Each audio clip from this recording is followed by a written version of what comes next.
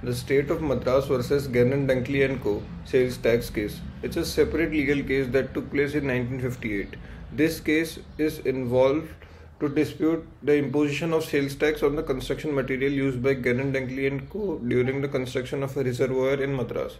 The company argued that they are not liable to pay sales tax during on at least on their construction materials because uh, the construction material comes under work of contract not on sales not under sales of goods the state of Madras disagreed and imposed tax on the company.